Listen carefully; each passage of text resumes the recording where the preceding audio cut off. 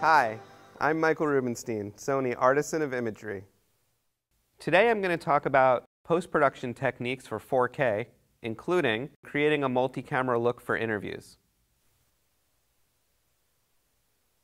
When you're shooting an interview, sometimes you want to have options for your shot. So you might have a three-camera setup where you've got one shot of both people, one shot and then a shot on each side of the interviewer and the interviewee, right? So then you've got three shots that you can go to. But over the course of, say, a 10 or 15 minute interview, that's going to get real boring. So if you shoot it in 4K, you can really come in on your subjects. Now, we didn't really shoot an interview today, but I did shoot two people on a bench with one camera, so I can show you what I'm talking about. So I'm going to throw my color on them so they don't look green. And what I'm going to do now is copy this and paste it so you can see the difference. And then on the second clip, I'm going to crop in so you can see just how far you can come in with 4K when you're exporting for HD. So we're going to go to crop, not Ken Burns. We don't want any movement. We're going to grab that edge and we're going to come up halfway and then we're going to come right in on them.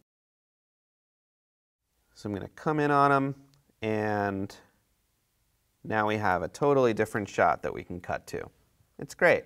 Now if you want to do that in the timeline, what you want to do is you've got your clip, you're playing your clip, and then you come to a spot where maybe they pause for a second, you take your blade tool, you cut it, and then you go to where you want to bring it out.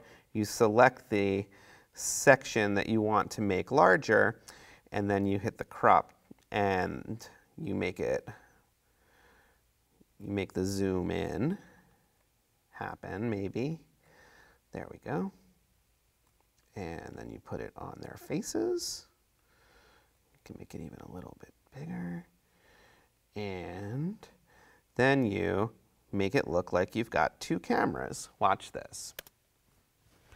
They're talking wide. It's a big wide shot. And then, oh, it popped in. And then she says something witty, maybe a little mean. He looks at her and it pops out. Beautiful. In this video, we learned about post-production techniques for 4K including creating a multi-camera look for interviews.